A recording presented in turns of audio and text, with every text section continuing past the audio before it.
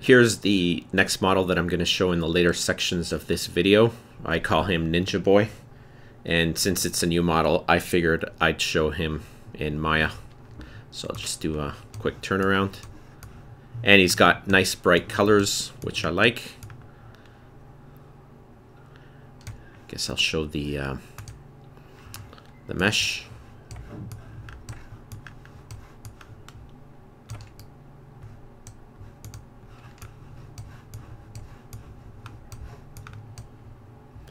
So he's about 1500 triangles.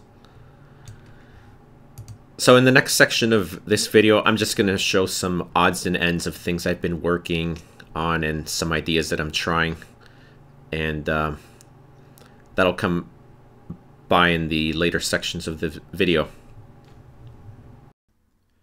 Alright, in this video, I show the ninja character sort of running in a preliminary test level this is one of the camera angles that I've chosen for the game. I'll show another one which is slightly steeper, but I don't think it'll make a difference. And here he's running through his run animations. One of the changes I did is I added a blob shadow. I don't know what I'm going to go with. Maybe the real-time shadows or the blob shadow that I'm showing here.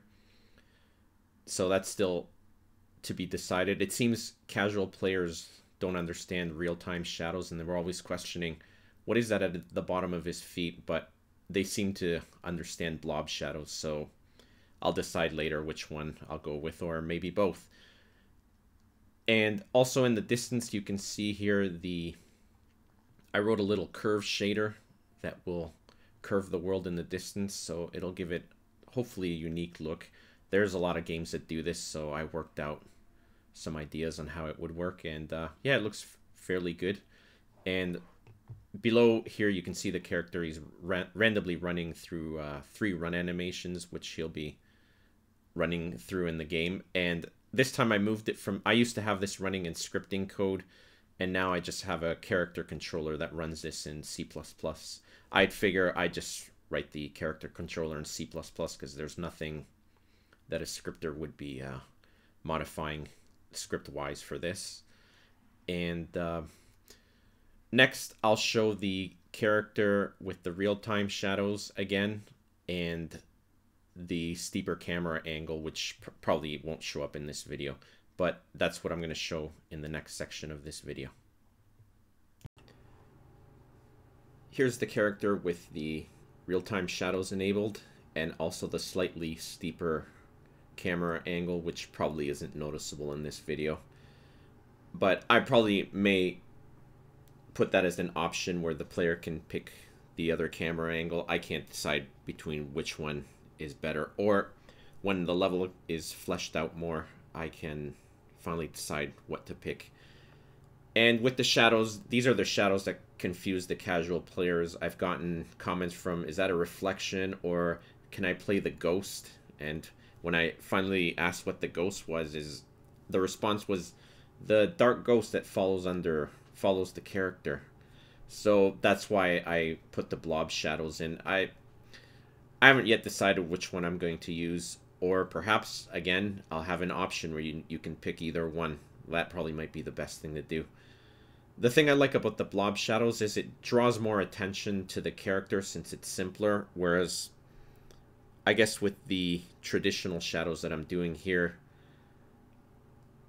your your mind may get directed to the shadow, but again, the beauty of the real-time shadows is it it really shows the character grounded with the rest of the scene, so there's there's that that advantage to it. But on another topic, the good thing about writing an engine that's based out of components that are independent of each other, it's very easy for me to switch between them.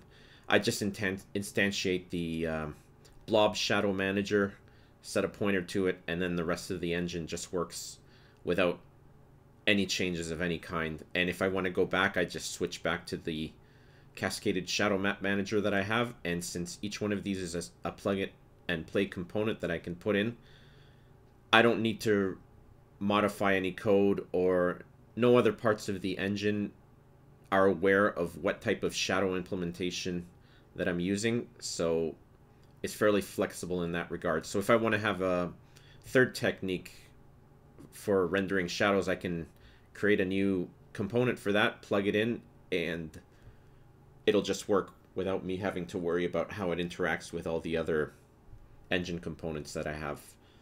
So that's uh, what I have to show, pretty much. Probably the next video that I'm going to do, I'll have the character actually running. As you can see, he's still stationary.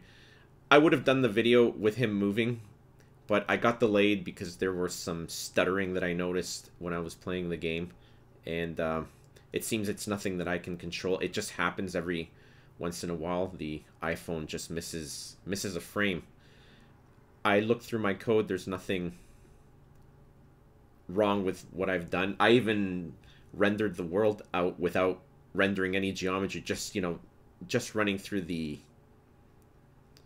the engine without rendering anything and then just swapping the frame buffer and you still will get the stutters and so it's not something that I can easily fix. What I did do is I did something called frame smoothing where I take a running average of all the frame times that have passed and if there's any hiccups I can sort of minimize the uh, the disturbance that happens when I miss a frame.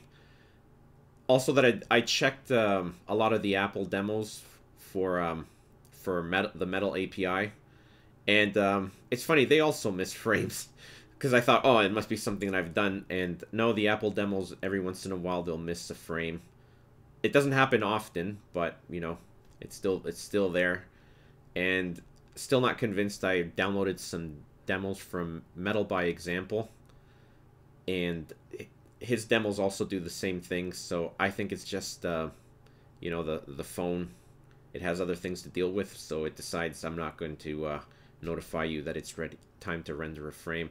And if you play other games, you'll also notice you'll see hiccups here and there playing games. So I think it's probably uh, just a common occurrence with uh, the iPhone. I guess I'm using the iPhone 5. Maybe the iPhone 6 is more powerful and you won't get the hiccups. But till next time, that's all I have to show. Thanks and bye.